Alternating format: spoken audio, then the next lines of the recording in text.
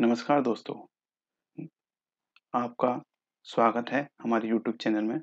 आज हम जानेंगे कि किस प्रकार से एलएलपी के डिजाइनेटेड पार्टनर को हम अपॉइंट करते हैं।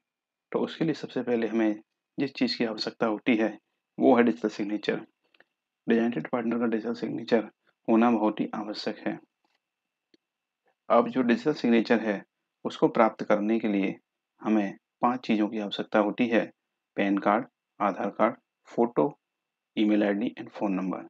अगर ये पाँच चीज़ हमारे पास हैं तो हम आसानी से डिजिटल सिग्नेचर अप्लाई कर सकते हैं।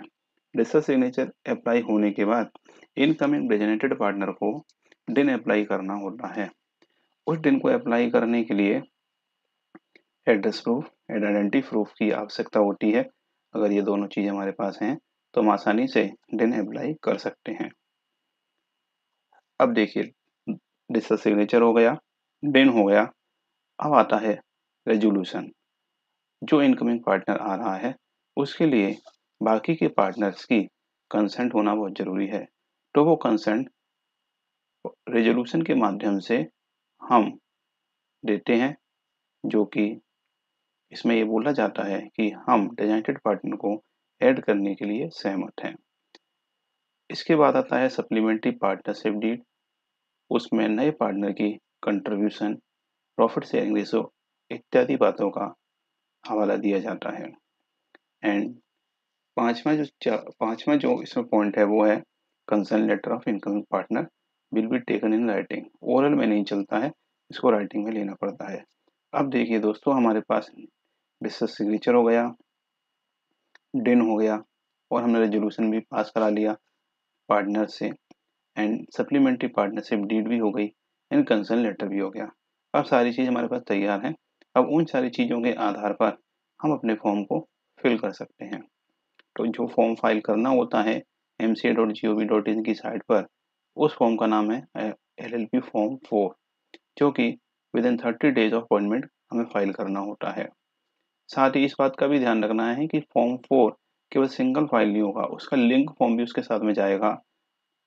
और उसको फ़ाइल करने के बाद form three and form four को फ़ाइल करने के बाद, हम एम की साइट पर देख सकते हैं कि हमारा जो पार्टनर ऐड हुआ है, उसका नाम अपेयर हो रहा है कि नहीं हो रहा।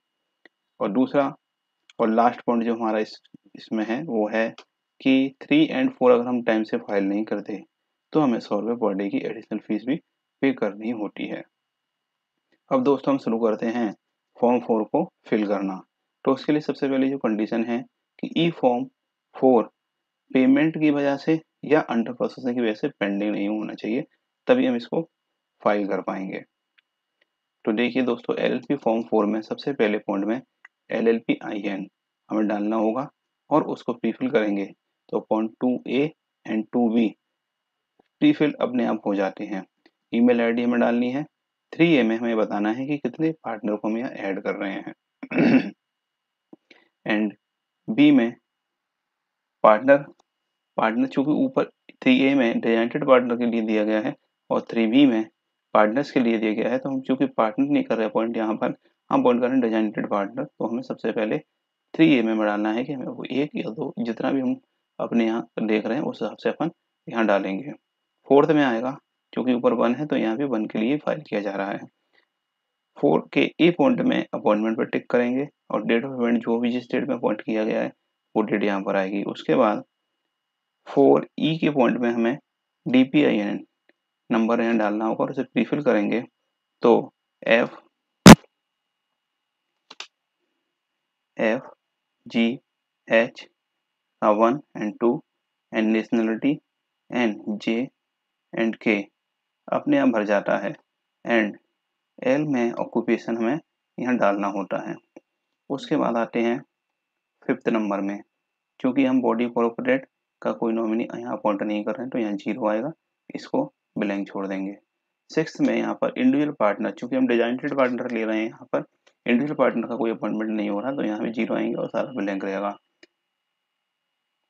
सेवेंथ में देखिएगा। सेवेंथ में भी ज़ीरो रहेगा, क्योंकि बॉडी कॉर्पोरेट का और एज ए नॉमिनी हम किसी को अपॉइंट नहीं कर रहे हैं यहाँ पर तो ये ब्लैंक रहेगा।